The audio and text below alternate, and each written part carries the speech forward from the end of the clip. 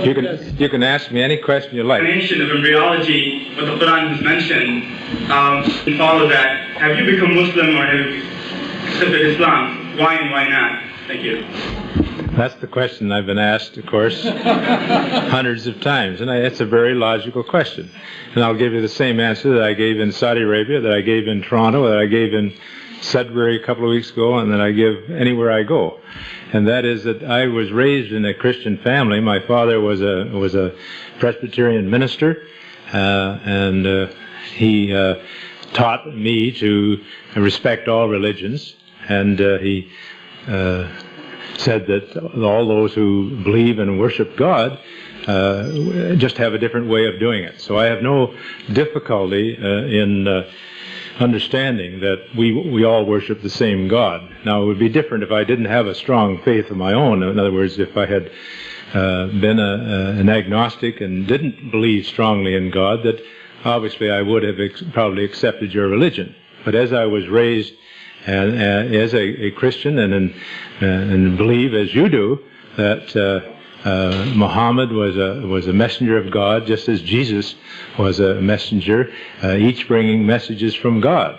So I didn't find it difficult when I was told about the Quran and that these were revelations from my God uh, from God. It didn't. Uh, it wasn't difficult for me because my own father made it very clear to me that he was uh, called by God to be a minister to go and, and, and talk about God to the, the people. So, uh, in an indirect way, maybe God is telling me that this is the right thing for me to do to uh, help uh, explain your holy book uh, to you. Now, uh, your scientific colleagues can do this just as well as I can if they have an understanding of embryology. But I've always said that it's uh, probably mean more uh, as a non-Muslim for me to tell people around the world that I believe that what is recorded in the Quran is accurate according to our present knowledge. And uh, as I say, I'm sincere in what I say, is that we just didn't have this knowledge. And some of this knowledge about the genes and the chromosomes has only come to us in the last uh, 10 and 15 years. When I was a student, uh, 25 or 30 years ago, we didn't have a lot of the knowledge we have now. And there are a lot of things in the Quran that were, uh, I was asked questions about, and I said, I don't understand it.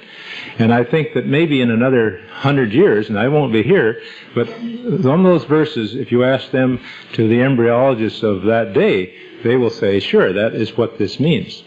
So that to answer your question very simply, I don't feel it's necessary for me to become a Muslim to uh, worship God. I've done that for all of my 60 years. And uh, if anything, though, uh, understanding this just uh, shows me that uh, God uh, has a, a, great influence in this uh, in, in, this world.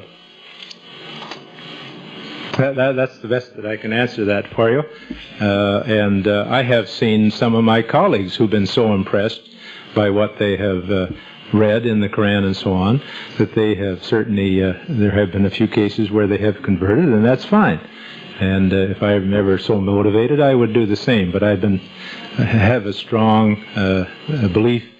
Uh, it just happens to be a, a, little different way of worshiping God than yours, but uh, we're all worshiping the same God. I like to think, and that if we can work together, we'll have a much happier world. Thank you.